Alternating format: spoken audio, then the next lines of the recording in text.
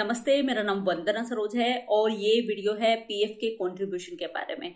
तो अगर आप भी पैरामिलिट्री फोर्सेस या डिफेंस फोर्सेस का हिस्सा हैं तो आप कितना अमाउंट अपने पीएफ में कंट्रीब्यूट कर सकते हैं, जो कि आपको टैक्स फ्री इंटरेस्ट दे तो वो लिमिट कितनी है? साथ में इस टाइम आपके पीएफ का इंटरेस्ट रेट कितना है? अगर आपके पीएफ में प्रोविडेंट फंड में जो आपका एम्प्लॉयर है, जैसे कि अगर आप गवर्नमेंट सर्विस में हैं डिफेंस सर्विस में है पैरामिलिट्री सर्विस में है तो गवर्नमेंट अगर कुछ भी कंट्रीब्यूट नहीं कर रही है तो उस केस में आपकी लिमिट होगी पाँच लाख रुपए एक फाइनेंशियल ईयर की। तो अगर मैं आर्म्ड फोर्सेस की बात करूँ तो आपके पीएफ में प्रोविडेंट फंड में गवर्नमेंट कुछ भी कंट्रीब्यूट नहीं करती है।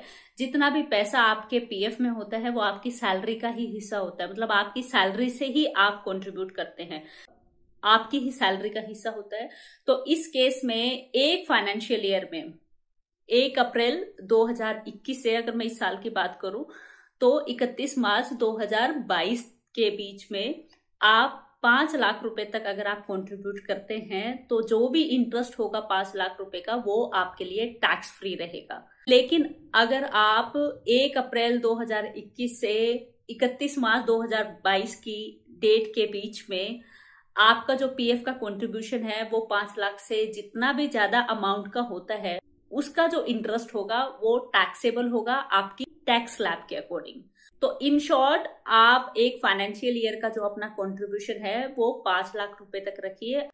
अगर आपको टैक्स फ्री इंटरेस्ट अपने प्रोविडेंट फंड से चाहिए। इस टाइम पैरामिलिट्री फोर्सेस के जितने भी लोग हैं और साथ में जो आर्म फोर्सेस या डिफेंस फोर्सेस का हिस्सा है, उनके पीएफ का प्रोविडेंट फंड का जो इंटरेस्ट रेट है वो 7.1 परसेंट है। ये भी गवर्नमेंट ऑफ़ इंडिया ही डिसाइड करती है फाइनेंस मिनिस्ट्री के साथ मिलके। तो ये जो 7.1 परसेंट है, ये काफ़ी टाइम से इतना ही है। तो ये आगे चेंज भी हो सकता है। तो अगर ऐसा कुछ चेंज आता है तो मैं आपको ज़रूर अपडेट करूँगी। आपके bank mutual funds insurance securities companies post office defence forces and travel videos पाने के लिए इस चैनल को सब्सक्राइब करें। वीडियो के नीचे आप जाएँगे तो सब्सक्राइब लिखा है, इस पर आप क्लिक करेंगे, बेल आइकन पे आपने क्लिक करके ऑल सेलेक्ट करना है। यहाँ से वीडियो को लाइक करें अगर आपको इन्फॉर्मेशन अच्छी लगी और यहाँ से दूसरों के साथ शेयर करें। तो ये थी मेरी वीडियो। कोरोना के टाइम में अपना ध्यान रखें। मिलती हूँ नेक्स्ट वीडियो में।